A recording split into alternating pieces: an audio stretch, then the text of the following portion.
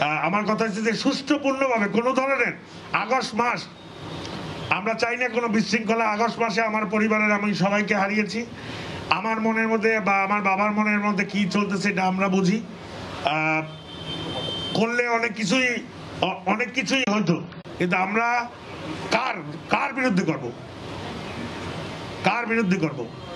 আমি যেটাই হবে সেটাই আমার দলের বিরুদ্ধে যাবে, আমার নেত্রীর বিরুদ্ধে যাবে।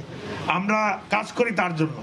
তো আমরা তার বিরুদ্ধে কাজ করার জন্য যেটা আগেও বলেছি, লাগলে এখান থেকে চলে যাব। কিন্তু আমার দলের ক্ষতি, আজকে আমি সবসময় বলি, আপনারা জানেন, এখানে সাংবাদিক যারা উপস্থিত আছেন, সবাই জানেন, বারবার শুনছেন যে আওয়ামী লীগ আছে, আমি সাদেক আবদুল্লাহ আছি। আজকে আওয়ামী লীগ যদি না থাকে, আমি সাদেক আবদুল্লাহর কোনো মূল্য নেই।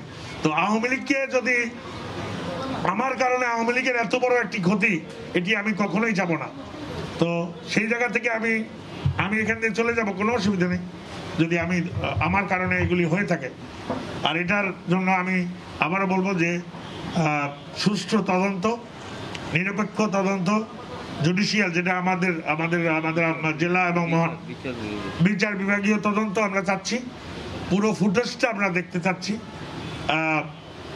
আমাদের চাহিদা বেশি না। পুরো ভিডিওটা আমরা দেখতে।